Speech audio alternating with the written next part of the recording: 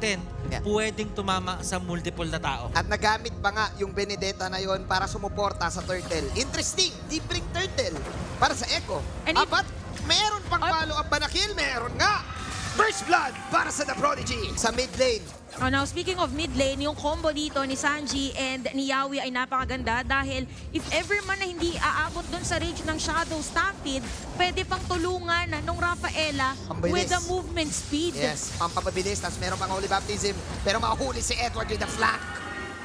Ito yung kanina pang hinahanap ng Echo, yung mga single target pick-ups. This time, lamang sila ng 3K at susubok pa si Tusok.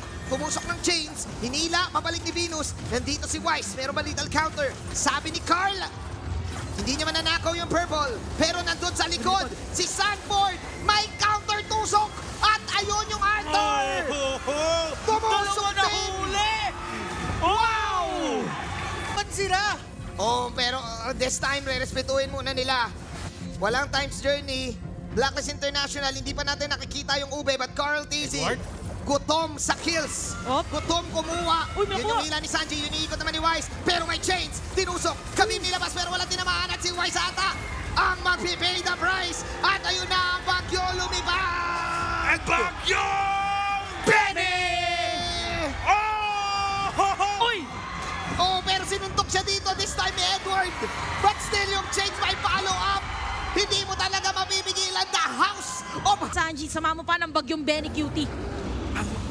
Ang, ang nangyayari dito ngayon, yung Echo, sinusubukan nila ipatap out dito yung Blacklist International by being aggressive. Oo. Kaso, ang kailangan natin ah, matutunan dito or maaalaala is hindi kayo pwedeng masyadong matulin kapag ka blacklist ang kalaban.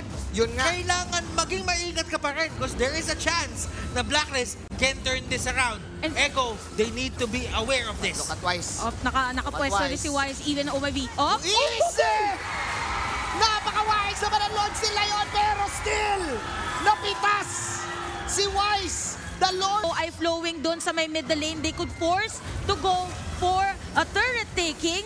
Nandun yung knock-up. Uy, si Benny Cutie, Oh, napalaban na naman. Ako, sabi ni Benny Cutie, it's time. Let's do it. Mga ultimates coming in. Sabay si Oem, bumala din ang kanyang blazing bullet, pero bitin damage. Bitin yung damage. Richard stun bumula sa uli baptism na wala ngayon si Yawi. 20 seconds down. 14 seconds down. Si Oh My Venus. Tatlo na natitira sa Blacklist International. Nandun pa rin yung itlog. Pero si Benny Cutie pinagsasamak-samak. The role player. Kailangan mabakin na Sanford. Cartesi still also the prodigal sons protecting the prodigy. Yun yung compensation na niya ngayon. But it is now the Lord, The Lord. for Echo. Lord going to the mid, Basagan Torre. Ganda ng music skill dito, Aji. Gumawa na lang ng kanyang dawning light. Sabi ni Carl Saglet, objectives tayo. Pero now, lipat tayo kay OM. Tinusok si OM dito. Buhay ng onti si OM. Pero basag ang mga towers. Two towers down for Echo Philippines. Depensang, depensang blacklist ang mangyayari. Pero Yawi! The Lover Boy! Anong kulang ang pinipindot? May set akong gagawin.